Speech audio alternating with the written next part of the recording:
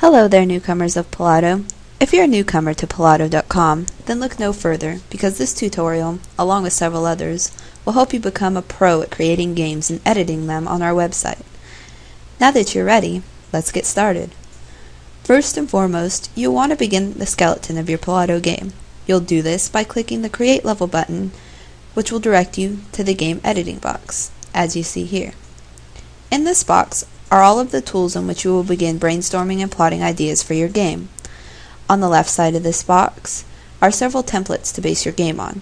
You can scroll down and preview, preview which games best fit your criteria, and then from then on, you can get really creative.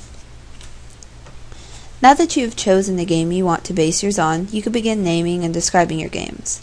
Please note that your game, although it should and probably will have many of the same attributes as the game you chose does not have to be exactly like the game you chose to base yours off of.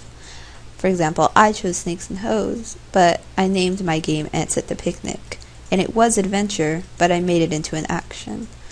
Also, my description is quite different from the original Snakes and Hoes description, that being that it's about ants now invading a picnic, and not much is the same about it at all.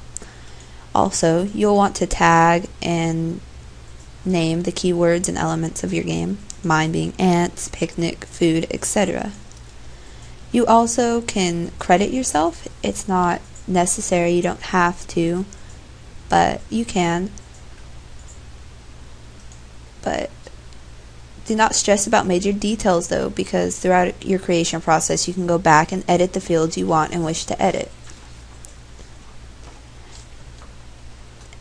So you can save and look at your game to see exactly what it's about, what you do with it.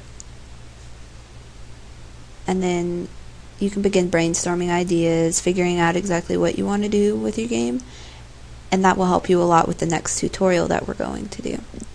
So I'll leave you here so you play your game, and we'll get back in the next tutorial.